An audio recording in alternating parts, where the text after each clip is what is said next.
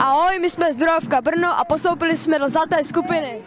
Náš nejlepší zápas byl s Tempem Praha a nejhezčí gol byl z půjky Vojty a napravil to nártem do šibenice z půlky. Uh, tak samozřejmě bychom to chtěli vyhrát, ale v nejhorším do top trojky. Mama Carina! Daniela! Poberený na